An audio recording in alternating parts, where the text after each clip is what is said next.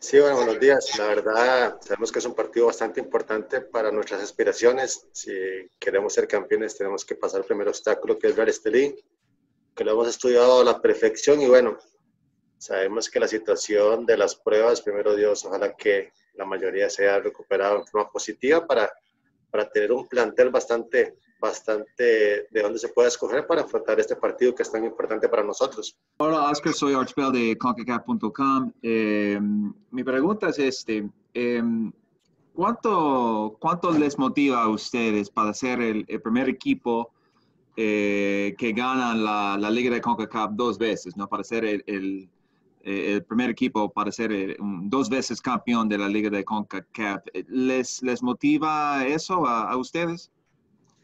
Sí, claro, nos motiva a volver a repetir lo que es lo que hicimos eh, años anteriores. Sabemos que, que, nosotros tenemos esa aspiración. Si estamos en, en, este torneo es porque queremos y aspiramos a ganarlo. Sabemos que hay muy buenos equipos donde, donde si nosotros queremos llegar a esa ansiedad final y ganarla, tenemos que pasar el primer obstáculo que va a ser un muy duro como el Real Estelí. Sabemos que es un equipo bastante bastante fuerte en la liga nicaragüense y bueno, lo importante es que nosotros eh, ya aprendimos de los errores como ejemplo del Waterhouse que nos quedamos eliminados, entonces eh, de esos errores aprendemos y, y, esperamos ese campeonato.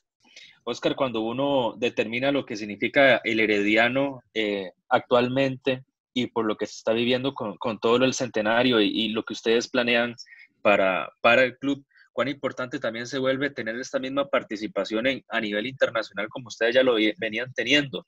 Usted siempre ha mantenido la idea que a este grupo consolidado de jugadores les gusta romper mitos, o sea, ya rompieron el mito de ganar un torneo internacional y ahora están a las puertas de competir con, contra otro. En el seno del camerino, Oscar, ¿cómo priorizan esto mismo? O sea, seguir marcando una época como ustedes mismos lo han hecho y específicamente pues vos que comandás esa, esa era principal en el Herediano a partir del 2012. Muchas gracias.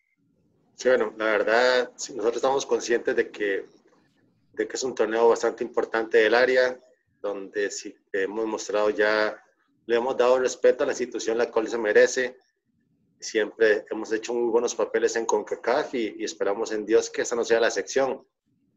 En el, en el Camerino estamos conscientes de que nos jugamos un, un semestre bastante importante donde jugamos tanto el torneo local y, y, el, y el, torneo de la Liga con CACAF, donde para nosotros es sumamente importante. Como dijo su, su, colega, nos motiva a volver a repetir lo que, lo que ya hicimos eh, en el 2018. Entonces, como te digo, lo importante es que el equipo está comprometido, la experiencia, sabemos que en esos partidos puede, puede ayudar y bueno, si queremos comenzar con el pie derecho, será mañana, mañana contra un equipo bastante, bastante bien, bien, que juega bien al fútbol, como se el eh, Jafet, eh, no sé si ya tiene conocimiento en lo absoluto de con cuántos jugadores no va a poder contar, también aparte del cuerpo técnico, quiénes van a poder estar, quiénes no. Y Jafet, también cómo afronta ya el equipo volver a jugar internacionalmente. Gracias. Eh, pues muy contento de volver a, a un torneo donde Herediano se siente cómodo, donde Herediano no ha faltado y donde somos parte de este torneo, dichosamente estamos ahí y estamos muy felices eh, de volver a participar en, en, este torneo. Jafet, le preguntaba ahora a Oscar Esteban Granados que cuánto pudo haber servido volver a la competencia eh, con dos partidos exigentes, como fue ir a jugar al Fello Mesa y jugar ahora con, con Saprisa para enfrentar un partido de, de CONCACAF que como está ahora el formato es todo nada. Entonces, ¿cuánto, cuánto le podría beneficiar a, a ustedes eso en esa búsqueda de volver a tener competencia? Buenas, buenos días, Fabián.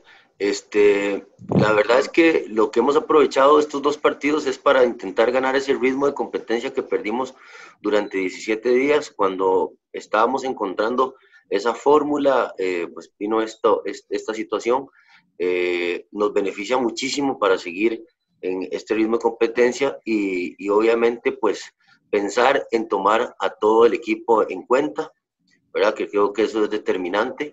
Eh, han sido dos partidos muy buenos, muy bravos, eh, donde a marchas forzadas y con dos entrenamientos eh, tácticos hemos, le hemos hecho frente. Así que, que nos parece muy bien, nos, nos, viene muy bien, perdón, el partido como tal. aprovechando que está por acá, me gustaría realizarle dos consultas muy breves. Jafet, usted es un entrenador y usted ha estado en momentos eh, importantes del Herediano, pero ahora también está quizá en uno de los más relevantes, que es lo del, centenario. Afed, ¿para usted qué significaría poder quedar campeón, como ya lo hizo anteriormente, con el Herediano en esta competencia, pero en este año tan especial para la afición roja amarilla? Y también, Jafet, sería un envío importante eh, andar bien en este torneo para luchar precisamente por ese envío anímico que le pueda dar al equipo la competición e ir por el campeonato local. Muchas gracias. Gracias, eh, eh la verdad es que eh, el torneo como tal nos viste, nos gusta y claro que en todos los torneos donde participa el Cruz Peregrino la exigencia es máxima, así que este no va a ser la excepción. El envión está, eh, hemos pasado situaciones adversas muy duras, estamos juntos, estamos unidos y sabemos lo que queremos.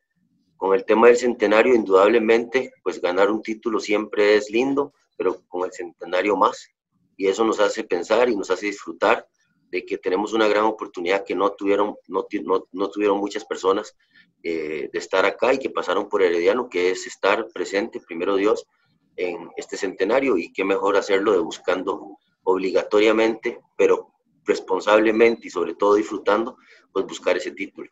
Eh, me gustaría conocer un poquito del rival que, que ha estudiado, que hay que cuidar, eh, cuáles pueden ser las fortalezas del Real Estelí. Saludos, Javier. Saludos, Wender. Eh, un placer. Eh, es un equipo que se para bien, es un equipo fuerte, es un equipo que tiene talento, tiene, tiene jugadores este, de bastante calidad. Es un equipo que va a venir a jugar con su línea de cinco, con cinco, con dos contenciones y tres puntas, donde tiene referentes como Rosas, eh, Barrera, de referente, eh, eh, el colombiano. Entonces tenemos que tener mucho cuidado, es un equipo al cual respetamos, un equipo grande, un equipo con historia, con tradición futbolística, que lo hemos estudiado muchísimo y que sabemos que, que tiene gente de calidad, y calidad individual.